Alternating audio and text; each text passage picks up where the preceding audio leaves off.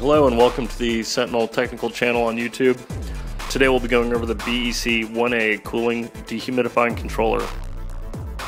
The BEC 1A basic environmental controller is designed to control fans, air conditioners, dehumidifiers, and other equipment in gardens, greenhouses, grow rooms, or other environments.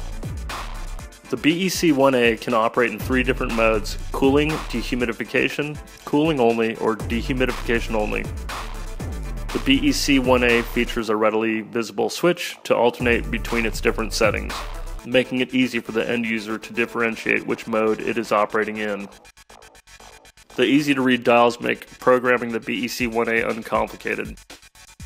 Two function LEDs let users know if the controller has main power and whether the output is in operation. The BEC 1A controller is ETL listed in the USA and Canada, RoHS compliant, and features durable construction built to withstand high impacts and provide years of reliable performance. Thank you for joining us on the Sentinel Technical Channel.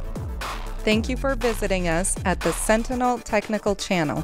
Feel free to contact us at growgps.com.